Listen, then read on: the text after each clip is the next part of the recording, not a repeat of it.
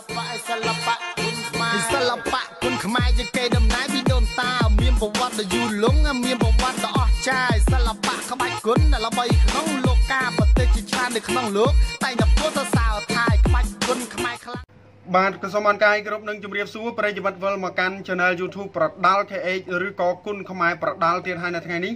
ដែលមានវត្តមានខ្ញុំបាទខាត់ស្តង់ដាជាអ្នកអត្ថាធិប្បាយផ្ទាល់នៅក្នុង Channel ក៏មានវត្តមានវិលត្រឡប់មកវិញដូចគ្នា ហើយយើងតាមមិនឆ្ងាយពីវិស័យកីឡាជាតិកម្ពុជាជាពិសេសគឺវិស័យកីឡាប្រដាល់គុណខ្មែរថ្មីថ្មីដើម្បីលេខយកមកអានជម្រាបចែកជូនដល់ប្រិយមិត្តសម្ដាប់និងទស្សនាវីដេអូនៅក្នុង Channel YouTube ប្រដាល់ KH យើងខ្ញុំ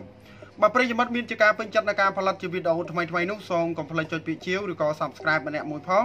ដើម្បីទទួលបាននូវវីដេអូថ្មីថ្មីនៅក្នុងដៃភ្លាមភ្លាមឲ្យតែមានអ៊ីនធឺណិតនៅថ្ងៃនេះយើងមានជាដំណឹងល្អ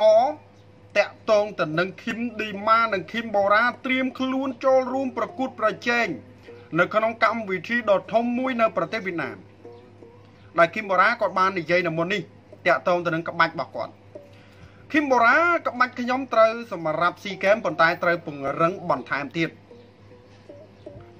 កីឡាករឃីមបូរ៉ាបង្ហើបក្បាច់ត្រូវពង្រឹងបន្ថែមបន្ទាប់ពីជាប់ឈ្មោះក្នុងក្រុមជម្រើសជាតិគុនខ្មែរសម្រាប់ត្រៀមចេញទៅប្រកួតស៊ីហ្គេម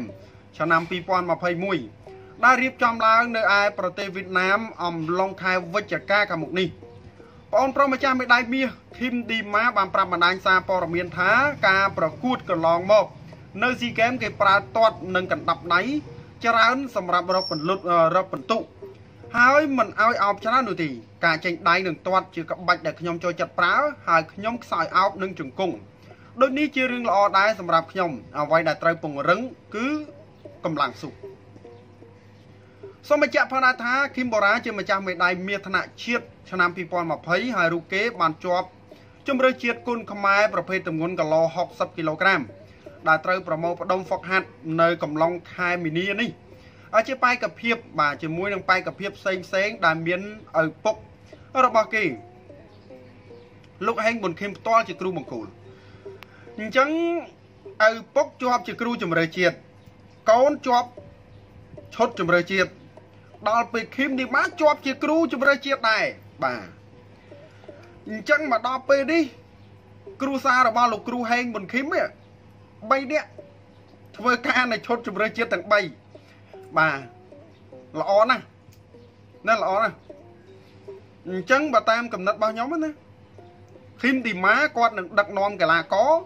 រួមជាមួយនឹងគណៈប្រតិភូផ្សេងផ្សេងទៀត ទៅប្រកួតនៅស៊ីហ្គេមឆ្នាំ2021នៅទឹកដីប្រទេសវៀតណាម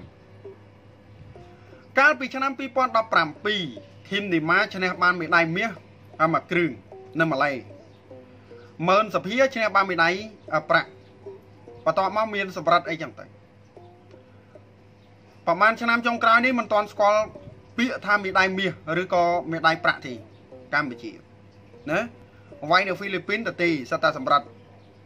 ឥឡូវនេះឆ្នាំនេះ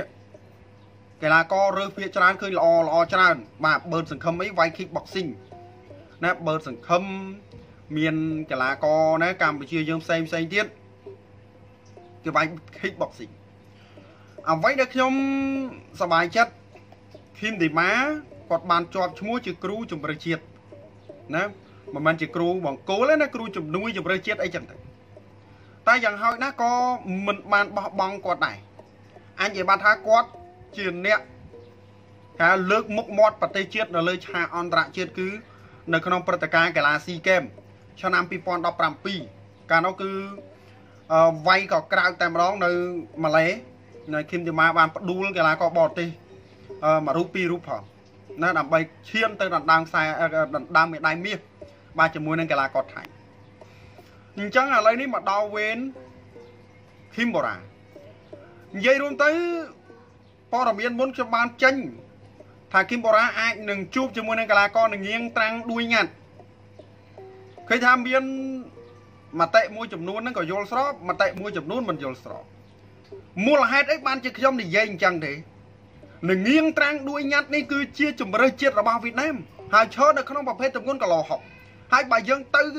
ប្រកួតនៅក្នុងព្រឹត្តិការណ៍កីឡាស៊ីហ្គេមដូចគ្នានេះក្នុងវិញ្ញាសាតែ1គីឡូដូចគ្នានេះ តើអាចនឹងប៉ះគ្នាទេឥឡូវខ្ញុំសួរបងប្អូនវិញនឹងងៀងត្រាំងដួយញ៉ាត់នេះគឺប្រកួតនៅក្នុងវិញ្ញាសាប្រដាល់មួយណាប្រដាល់មួយហើយឈរនៅក្នុងប្រភេទទងន់គីឡូ60ឥឡូវឃីមបូរ៉ាវាយ60ហើយទៅវាយនឹងស៊ូថាវិលជុំចុះឡើងចុះឡើងតើអាចនឹងជួបគ្នាទេឥឡូវខ្ញុំសួរមុននឹងចេញអីមកសូមពិចារណាឲ្យបានច្បាស់លាស់ណា អាហ្នឹងខ្ញុំសូមនិយាយហើយនិយាយទៀតខ្ញុំមិនមែនចេញមកតែស្គរបំភ្លៃអីទេតែវាជាការពិតវិញ្ញាសាបដាល់តែមួយហើយវាយនៅក្នុងទឹកដីគេទៀតណាហើយគីឡូតែមួយគ្នាអឺគីឡូគីឡូតែមួយទៀតហើយវាយជាមួយគ្នា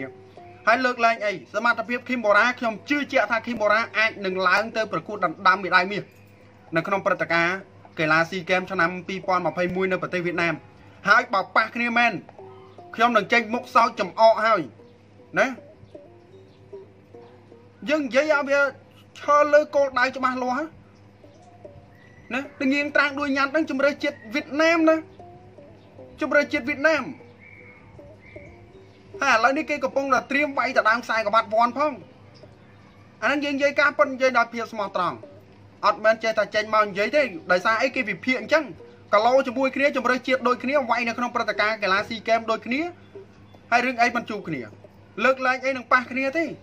គាត់ថាចាប់ឆ្នោតទៅជួបឬក៏មិនជួបតែប៉ុណ្្នឹងទេហើយខ្ញុំក៏មិនបានបញ្ជាក់ថា100%ត្រូវតែជួបគ្នាដែរណាអានេះខ្ញុំនិយាយការពិតអញ្ចឹងតកតងទៅនឹងបាទកីឡាករឃីមបូរ៉ាមកដល់ពេលនេះក៏លោ60ស្រុកខ្មែរអស់គូវាយហើយបាទអស់គូវាយហើយហើយដំណឹងដែលទទួលបានអេលីតចម្រើននឹងវិលចូលសង្វៀនវិញហើយបន្ទាប់ពីមានរឿងរ៉ាវលកម្មលកោសតិចតួច ហើយក៏ដូចជាបានទទួលចាក់វ៉ាក់សាំងហើយអាចនឹងប្រមូលបដុំចូលឈុតជំរឿជាតិដែរនឹងអេលីតចម្រើនអញ្ចឹងអេលីតចម្រើននេះតាមក៏ពិតទៅគេគូកងឲ្យប៉ះឃីមបូរ៉ាក៏ប៉ុន្តែត្រូវអាក់ខានដោយសារតែបញ្ហាសុខភាពអញ្ចឹងហើយអាក់ខានมันអាចជួបប្រកួតគ្នាបាន ស្ដាយអានឹងនិយាយការពិតយើងបានត្រឹមតែស្ដាយតែមិនដឹងធ្វើម៉េចបើបញ្ហាសុខភាពវាយអត់កើតណាបញ្ហាសុខភាពវាយអត់កើត ហើយមួយវិញទៀតតកតងទៅនឹងឃីមឌីម៉ាឃីមឌីម៉ាប្រហែលជាមិនអាចវិលចូលសង្វៀនវិញទេមើលទៅបាទអាយដលហ្នឹងហើយហឹមបាទស្ដាយអញនិយាយបានថាជើងគាត់តតកាលណាប្រឹងទាត់ស៊ីបខ្លាំងគឺនៅឈឺបាទអូបាទវះកាត់នេះដូចខ្ញុំលើកឡើងចឹងចង់ឲ្យឃីមឌីម៉ាបាទប្តឹងទៅមន្ទីរពេទ្យប្រទេសថៃនឹងមកតនីជួនថារយៈពេល1ឆ្នាំអីទេនៅយ៉ាងយូរបំផុត1ឆ្នាំឥឡូវមាន1ឆ្នាំណាបងប្អូនហើយបាទ ចូល2ឆ្នាំ3ឆ្នាំឡើយហើយណាឃីមឌីម៉ាវាយមិនកើតណាទាត់ខ្លាំងក៏មិនកើតបានតែវាយដៃបានទាត់ជើងដែលមិនមិនវះណាជើងខាងដែលមិនវះណាតែជើងវះហ្នឹងគឺទាត់មិនកើតបានទាត់មិនកើតអញ្ចឹងតកតងទៅនឹងកីឡាករឃីមឌីម៉ាឃីមបូរ៉ាលោកហេងមុនឃីមក៏មានប្រព័ន្ធហ្នឹងដែរហើយបងប្អូនបើពេញចិត្តសូមកុំភ្លេចចុចពាក្យជាវឬក៏ Subscribe នៅ Channel YouTube បដាល់ KX ម្នាក់មួយផងដើម្បីទទួលបាននូវវីដេអូថ្មីៗជាបន្តបន្តទៅទៀតហ្នឹងហើយសាច់រឿងក៏មានប្រព័ន្ធហ្នឹងដែរជាចុងក្រោយបដាល់ KX បាទសូមជម្រាបលាបាទ